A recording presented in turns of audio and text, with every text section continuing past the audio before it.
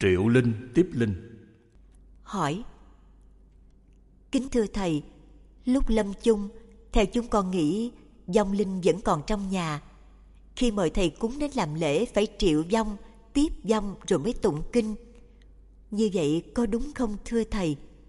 Đáp Theo đạo Phật Khi một người chết Tức là thân tứ đại tan rã Mà thân tứ đại tan rã Thì thân ngũ uẩn không còn sót một thứ gì Nghĩa là tất cả đều hoại diệt sạch Không có vong linh và thần thức nào còn Chỉ còn lại nghiệp lực của các hành động Thiện, ác Và nghiệp lực tiếp tục tái sanh luân hồi Cho nên đối với đạo Phật Không có triệu linh và tiếp linh Vì có linh đâu mà triệu và tiếp cái không có người ta tưởng ra cho có thì đó là mù quáng vô minh.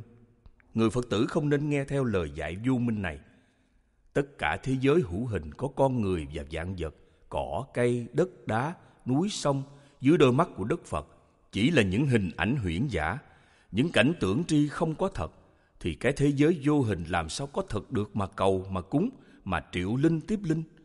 Nếu thế gian này có thật thì phải có một vật hằng còn nhưng dòng lịch sử của loài người chưa chứng minh có một vật gì hằng còn, tất cả đều hoại diệt theo thời gian.